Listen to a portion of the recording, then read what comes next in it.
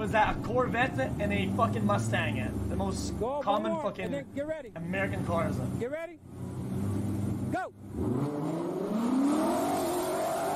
It's gonna spin out. It's gonna spin out. Yeah. Holy shit. Holy Jesus. And There's more common than a Mustang spinning out. Jesus, man. Unlucky.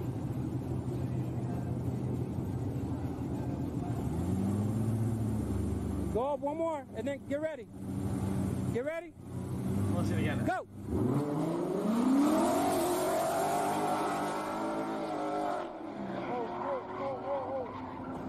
That's unlucky though.